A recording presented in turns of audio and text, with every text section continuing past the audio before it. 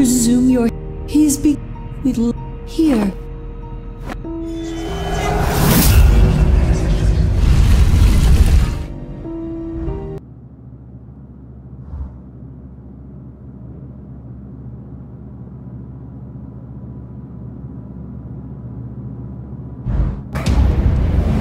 The book is somewhere in this crypt. You must find it as soon as possible. I'll distract my husband.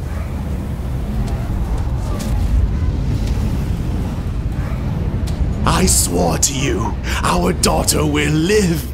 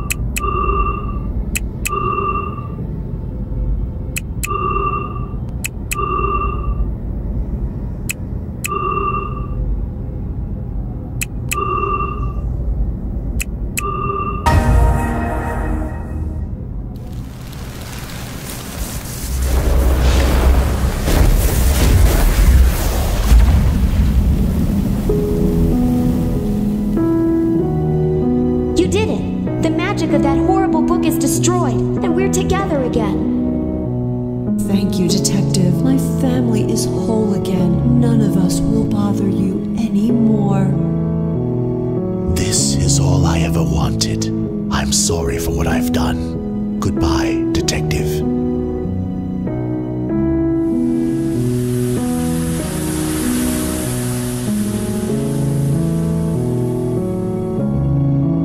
Oh, Stephanie, I'm so sorry you had to go through this. It's not your fault. And we're back together now. Let's just go home. Thanks for saving me. I think it's just about time I retired from this whole ghost business, don't you?